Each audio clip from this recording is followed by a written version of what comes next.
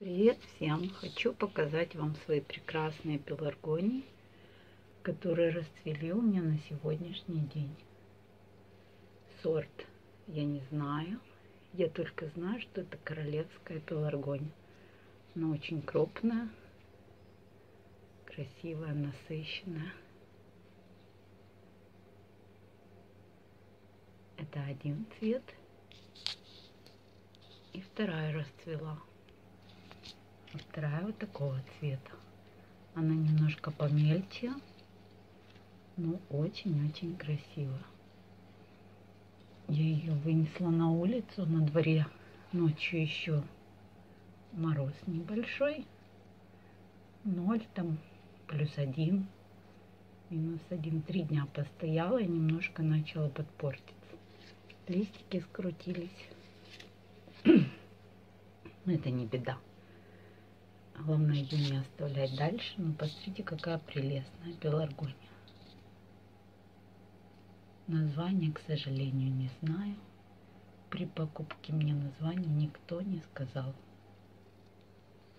И это тоже замечательно.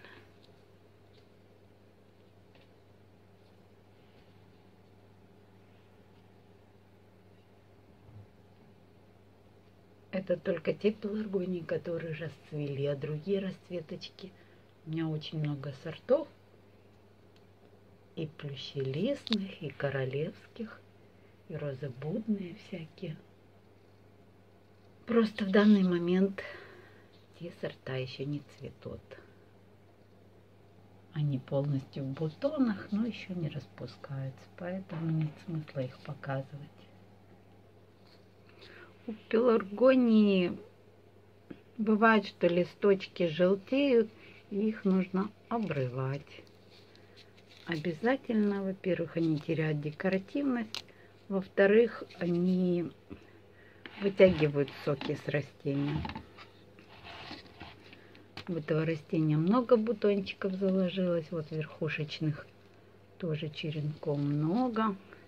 Я ее прищипывала для того, чтобы были боковые побеги. Видите, как получилось? Верхнюю часть прищипнула, самый верхний стволик, и с паузу листиков просыпаются боковые побеги, и они тоже становятся полноценными веточками. Их можно укоренить, а можно любоваться цветением. Вот видите, какой бутончик красивый для того, чтобы королевская пеларгония у вас зацвела и цвела все лето практически, нужно выдержать температурный режим. Зимой ее нужно держать в прохладных помещениях или поближе к стеклу. И тогда будет королев режим соблюден.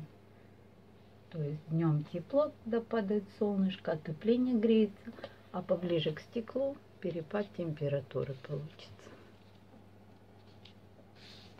И таким образом мы стимулируем цветение. Вот когда бутончик отцвел, вот так как здесь осыпались лепесточки, его нужно удалять обязательно. Удалять просто, оборвать и все. И здесь, видите, обломала. Эта кошечка у меня побаловалась, уронила горшочек еще. И некоторые листики, вот покажу вам, погнулись. Этот погнулся и отломался не до конца и засох. А вот этот вот при падении просто повредился. Его тоже желательно оборвать. И долго растение не надо держать. Вот отцвело растение, нужно бутончик снимать. Или хотя бы вот эти цветочки отцвевшие, потому что он начинает серединка завязываться семена, а семена в данном случае нам не нужны. Вот смотрите, семена. Семенная коробочка завязывается, утолщается, стволик утолщается и прекращается цветение так как завязываются семена.